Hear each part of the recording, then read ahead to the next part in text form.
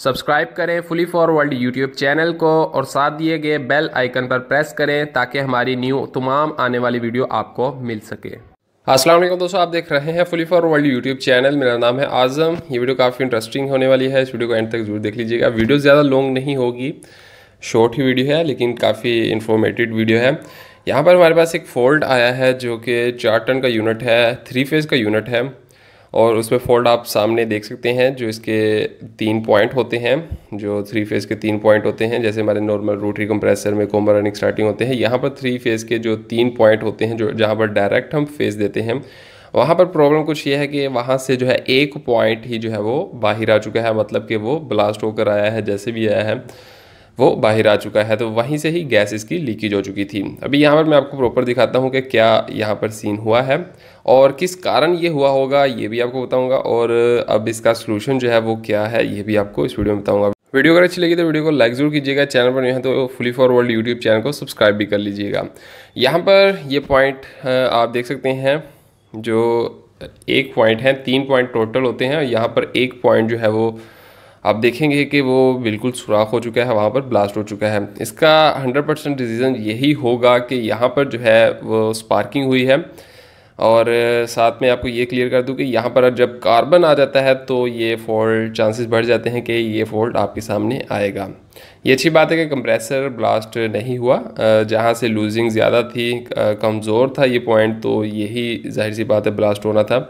तो खैर, जब ब्लास्ट हुआ तो यहाँ से सारी गैस जो है वो बाहर आ चुकी थी और गैस लीकेज हो चुकी है। अब यहाँ पर इसको हम किसी भी सूरत में इसके ऊपर कनेक्ट नहीं कर सकते दोबारा।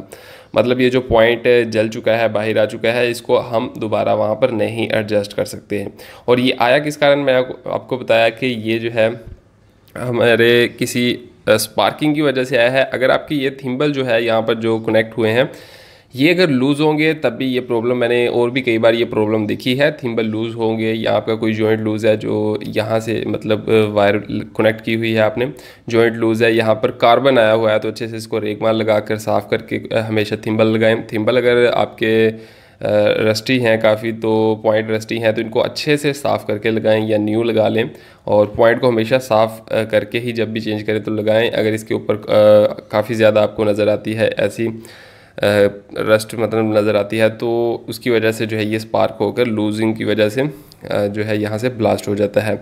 अभी ये स्क्रॉल कंप्रेसर है स्क्रॉल टाइप कंप्रेसर है, और इसको हम चेंज ही करेंगे। ज़ाहिर सी बात है ये किसी किस्म मतलब किसी भी तरह से ये अब जो है नहीं चल सकता। तो इसको रिप्लेस करना ही सबसे बेहतर है। ये किसी भी सूरत में अब नहीं चलेगा। इसको चेंज करना बहुत ही इजी है कंप्रेसर को। मैं इसकी मुकम्मल डिटेल में वीडियो बना दूँगा। जब हम इसको चेंज करेंगे, कोशिश करूँगा कि आपको एक वीडियो दे दूँ, जिसमें जो है आप स्क्रॉल कंप्रेसर को कैसे इजीली चेंज कर सकते हैं। प्रॉपर आपको एक वीडियो जल्द ही एक दो वीक में ही कोशिश करूँगा कि मैं आपको दे दूँ। और इसमें कितना ऑयल चार्ज होगा, चार टन के कंप्रेसर में कितना ऑयल चार्ज होता है थ्री फेस कंप्रेसर में तो ये भी आपको मुकम्मल वीडियो में बता दूँगा। वीडियो अगर आपको पसंद आई तो वीडियो को लाइक करें, चैनल पर नहीं है तो इसको सब्सक्राइब कर लें। मैं मिलता हूँ आपसे नेक्स्ट वीडियो में। अल्लाह हाफिज़।